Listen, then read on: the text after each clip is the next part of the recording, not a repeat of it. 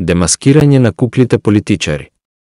Искриените намери на владетелите од сенка зад глобалната моќ. Владата во сенка, криптократија, тајна влада или невидлива влада е семејство на теории засновани на идејата дека вистинската влада и вистинската политичка моќ не е само кај јавно избраните представници, туку и кај приватни лица кои ја практикуваат власта зад сцената, надвор од лупата или очите на јавноста на демократските институции. Според ова верување, официјално избраната влада е подчинета на владата во сенка, која е вистинската извршна власт. Некои од групите предложени од овие теории како конституирање на владата во сенка вклучуваат централни банки, масони, комунисти, нацисти, разузнавачки агенции, тинктенкови, организирани евреи, Ватикан, језуити или католици воопшто, како и тајни друштва, парични интереси, вонземјани и глобалистички елити и наднационални организации кои настојуваат да манипулираат со политиката во свој интерес или со цел да служат на поголема агенда која е скриена од пошироката јавност.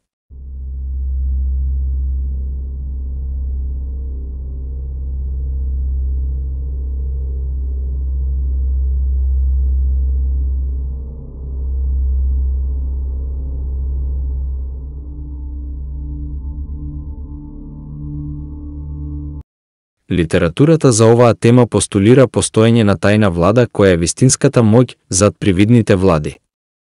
Примери за таква литература вклучуваат и делата од Ден Смут, Вилиам Гайкар, Джим Марс, Керол Квигли, Гери Ален, Алекс Джонс, Дес Грифин, Г. Едвард Грифин, Дейвид Айк и Майкл А. Хофман II. Некои од овие автори веруваат дека членовите на тајната влада може да представуваат или да бидат агенти за групи како што се Советот за надворешни односи, Обединетите нации, Кралскиот институт за меѓународни односи, Институтот Тависток, Трилатералната комисија, Римскиот клуб, групата Билдерберг, Светската здравствена организација, Џорџ Сорос и браќата Кох, во соработка со меѓународни банки и финансиски институции како што е Светската банка, Меѓународниот монетарен фонд и Банката за меѓународни порамнувања. Милтон Вилијам Купер тврдеше дека владата во Сенка била во соработка со вонземски цивилизации наречени вонземјани. Неговата книга од 1991 година Еве еден блед конј е влијателна помеѓу и полицајските кругови, Таму тој ги опишува дејствата на тајната светска влада и различни други тајни активности поврзани со декларацијата на илуминатите за војна против народот на Америка и сите други држави. Купер тврдел дека видел тајни документи додека бил во морнарицата во кои се опишуваат владините сделки со вонземјани. Купер ги поврзал илуминатите со неговите верувања дека вонземјаните биле тајно поврзани со американската влада.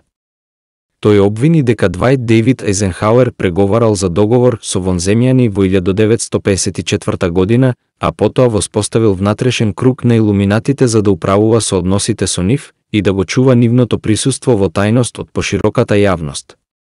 Купер верувал дека вонземјаните манипулираат и или владеат со човечката раса преку разни тајни друштва, религии, магија, вештерство и окултизам. Нов светски поредок, Теорија на заговор или вистина, новиот светски поредок, спаѓа во теорија на заговор која предпоставува дека тајно се појавува тоталитарна светска влада. А на вас останува да процените сами дали е ова е теорија на заговор или не.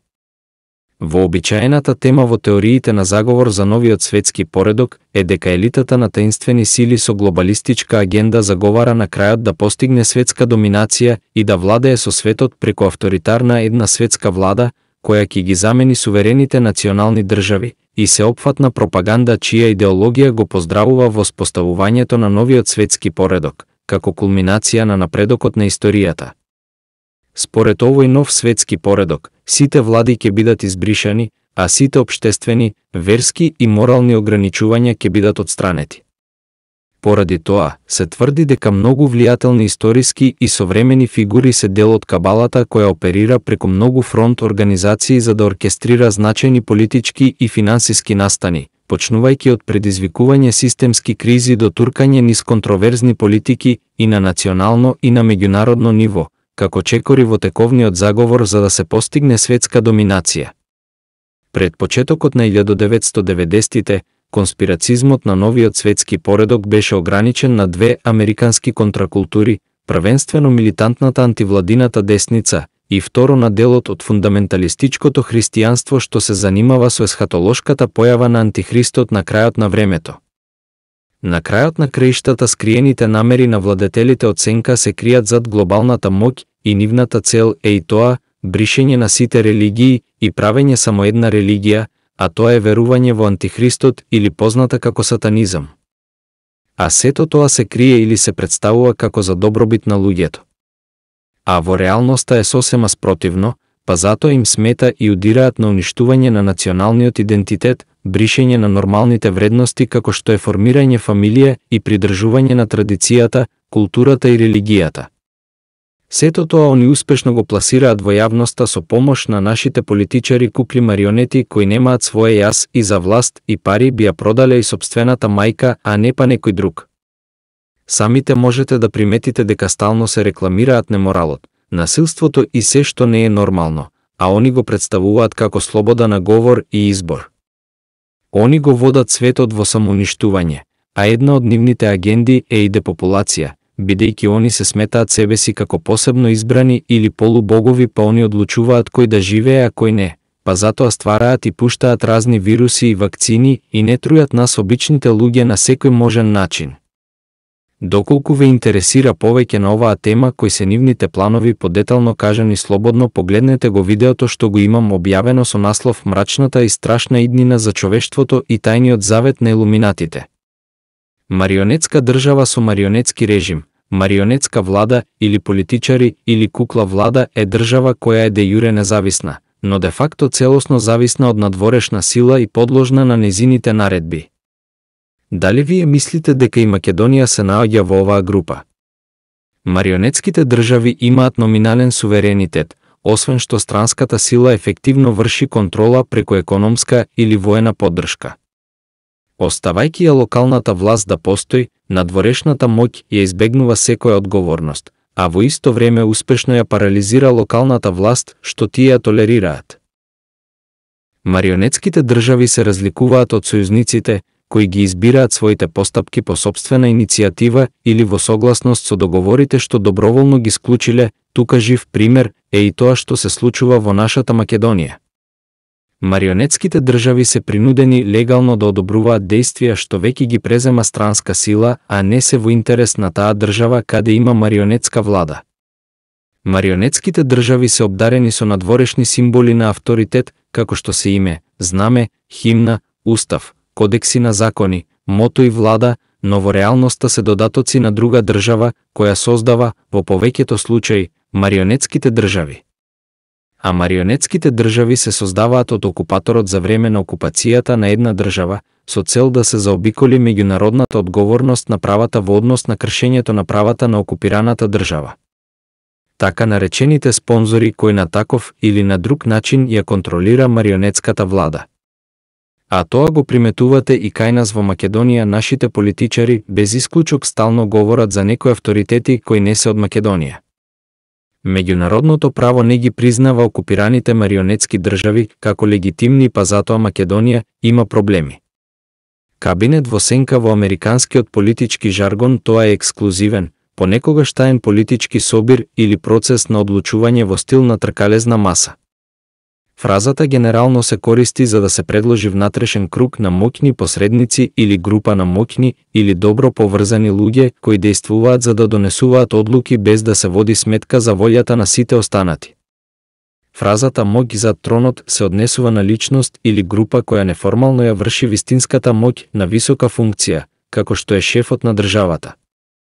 Во политиката најчесто се однесува на роднина, помошник или номинален подреден на политички водач, често наречен фигурен лидер или кукла кој служи како де факто лидер, поставувајќи политика преку поседување големо влијание и или вешти манипулации.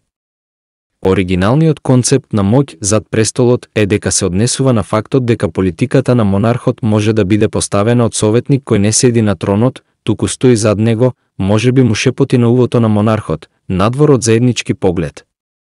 Во последно време, членовите на семејството и официјалните или неофицијалните советници може да преземат слична улога. Понекогаш е тешко да се процени дали таквото обвинение е точно или е теорија на заговор. Петта колона Петтата колона е секоја група на луѓе кои подкопуваат поголема група или нација одвнатре, обично во корист на непријателска група или друга нација. А тоа кај нас во Македонија се гледа од авион. Според Харис Милонас и Скот Радниц, петтата колона се домашни актери кои работат на подкопување на националниот интерес, во соработка со надворешните ривали на државата. Активностите на петтата колона можат да бидат јавни или тајни. Овој термин се проширува и на организирани акции на воениот персонал. Тајните активности на петтата колона може да вклучуваат акти на саботажа, дезинформации, шпионажа и или тероризам или да бидат екзекутирани во одбранбените линии од тајни симпатизери со надворешна сила. Длабока држава според една американска теорија на политички заговор, длабоката држава е тајна мрежа на членови на федералната влада, особено во рамките на ФБИ-ЦИА, кои работат заедно со финансиски и индустријски субјекти и лидери на високо ниво, за да ја практикуваат власта заедно или во избраната влада. Политикологот Џорџ Фридман тврди дека таква длабока држава постои од 1871 година. Како и да вртите сите се во исти кош. Работат само на уништување на државата. Може би сум премногу директен и отворен. Ама го кажувам тоа што го мислам. Ви благодарам за вашето одвоено време.